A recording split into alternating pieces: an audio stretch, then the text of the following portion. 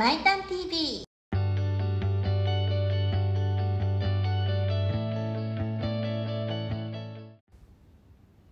こんにちは長野舞です。え今日も坂本まりちゃんとコラボ企画なんですけども、ブランディングするために本出したいっていう質問がね結構あるんですよ、はい。で、まあ、私たち本出してるじゃないですか、最初の一冊目どうやって出したんですか？あうん、いうーことなん。ですはいけど、はいはい。まりちゃん最初の一冊はどういう経緯だったえっとんですか、ね最初の一冊は、まあやっぱりあのブランディングするために本を出したいって全く同じ理由だったんですよ、うんうんうんで、えーあの時はですねあのー間に入ってくれる、うん。そのプロデューサーみたいな方を見つけて、うん。だから本の内容とかも、うん。まあ、その方と相談しながら、まあ、私の場合はテレビ通販っていう仕事を直前までしてたので、テレビ通販の本って実はあんまりないんですね、あそうなんだ、うん、でなぜかというとテレビ通販の、えーと仕事に携わってる間は、うん。あの門外不通の話が多いんですよ。そっかそっか。そう。だから離れないと書けないっていうことがたくさんあって、なるほどね。そのテレビ通販のマーケティングっていうのを、あのまあ、書いた本を1冊目に出したいなと、うん。でまあ、それは類書が少ないから、うん。えー、とじゃあいいですねって話になって、うん。それで、えー、と章立てとかそういう企画書をうん。その方に作ってもらって、うん。まあ、営業もしていただいて、うん。それで商業出版決まったんですね。出版社に営業？あそうですそうです。そういうことなんだはいね、はいなるほど。っていうことはじゃあ自分が動いたってことだよね。そうです。だから私の場合は本を出したいっていうところからスタプロデューートして、サーさんっていうのは、あのどれぐらいなんですか？いくらぐらいかかるえーっとね値段で言ったら、の、あのあ1回目の初版の、うん。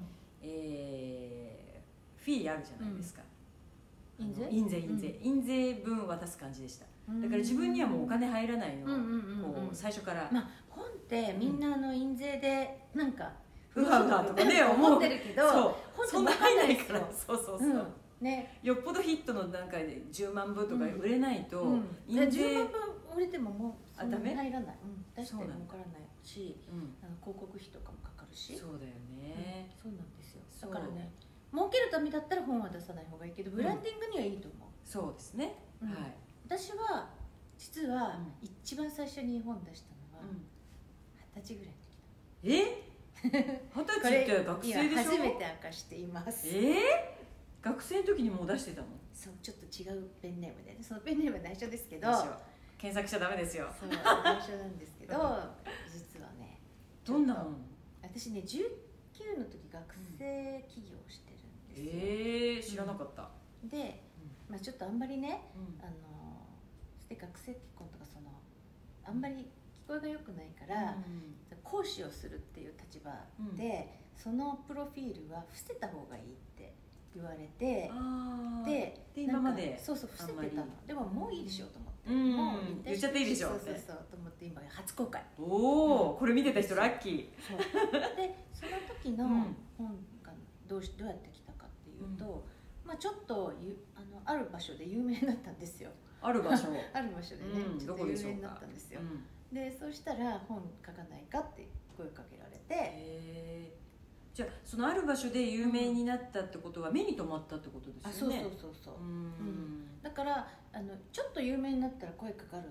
あじゃない本確かに確かに。であの、うん、2冊目は、うんまあ、インターネットビジネスの本なんですよ、はいはいはい。でインターネットビジネスの時もインターネットビジネス業界でちょっと有名になったんですよ。確かにあの女性本当になかったんで、舞さんがねあやってた頃それで出版しないかって声かかった。あー、うん。結構だからんちょっとこうあのエッジが立ってくるっていうか、うん。目立ってくると、出版社の方から実家あのオファーが来たり、うん。出版プロデューサーの人からオファーが来たりってありますよね、だからちょっと有名になるっていうのが本を出すためのコツで、うん。そのちょっと有名になるっていうのは、なんかほら舞さんだからできるんでしょみたいに言われる人いるんだけど、うんなんで今ここで二十歳の話出したかっていうと二十、歳の小娘でもできるうん。たんだだから。ってその時は稼いでたわけじゃないでしょ？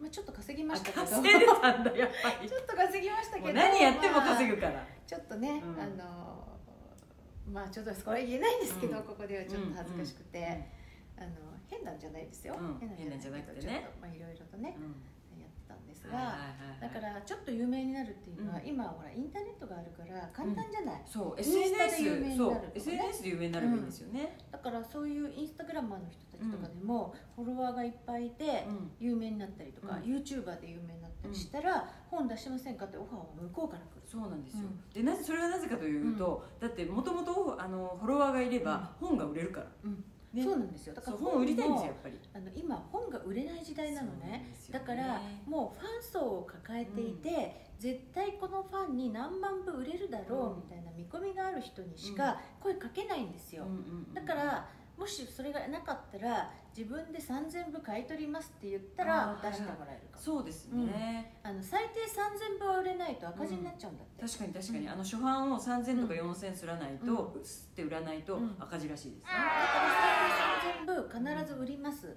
売れなかったら買い取りますっていうふうに言えば出してくれる可能性はあります、ああそういうことなんですね、それってでもまあ自費出版に近いというかうん、自費出版の場合は自分で最初からお金出してやるけど、うん、そのちゃんとした出版社でも、うん、そそれだけ買い取りをますって約束すれば出してくれる可能性はあるんですよ、あそうなんですね、じゃあ本当にね何か作りたいあのコンテンツがあったら、そういうオファーの仕方でもいいですよね。そう。でちゃんと企画書がちゃんとしてて内容もちゃんとしてるなってなれば、でさらに印税いりませんからとかね、そういうふうに交渉ですよね。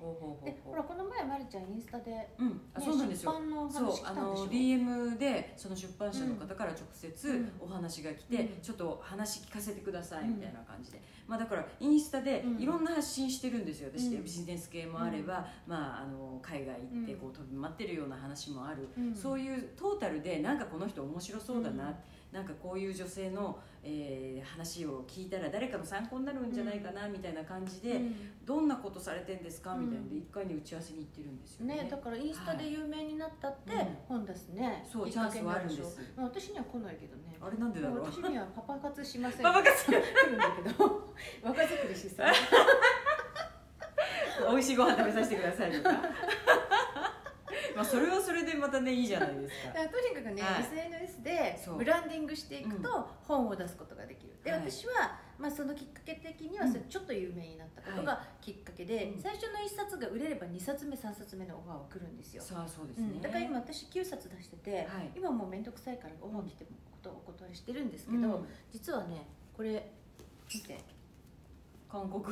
韓国語もう字読めないから何の本ですかって聞いちゃった中国語。すごいよね。これ同じ本？同じ本。同じ本。あなたの一日を3時間増やす超成立っていう本が一応10万部ぐらい売れてるので、すごい人気だったんですね。韓国と台湾と香港で翻訳されてる。ね、うん、これはでも嬉しいですねなんかね。なんか嬉しいでしょ？アジアの皆さんがみんな読んでるって思うとね、うん、なかなかないですよ。あと英語出せればいいかな。英語、うん、最後ちょっと英語英語版。したいなっていうのはありますけどそ,、したらもう本はいいかな。うん、でも反対になんか例えば見てる方が舞、うん、さんにこういう本書いてほしいとか、うん、なんかあったらね教えてほしいですよね。そうですね、そういうのがあったら私何でも書きますよ。そうなんで本当ですよね、なので、あの言ってください、ね、ぜひね。楽しみにしてます、はい、本出したい方は、まずインスタとかでねちょっと有名になるっていうのを心がけてそうすると向こうからオファー来ますから。だからどんどん発信すればいいんですよね、自分の得意なことを。で、それでも来なかったら自分から売り込みに行って、行きましょう。3000部買い取りますって言って、気迫を見せれば。そうやる気。やる気ですからやる気ですね。ね、本を出すことは、ねそんなに難しくない。もうでも私ね一つね書いてほしいのね、やっぱりねテロメアの話。ちょっと前さんにねこのテロメア系の話を。テロメアで可愛くなっちゃったみたいなやつ？オッケー？オッケー。ですか？オッケー。それでいきましょうじゃあね出版頑張ってください。はい、頑張ってください。チャンネル登録はこちら。他にもインスタやツイッターやってますのでぜひ登録してください。ご視聴ありがとうございました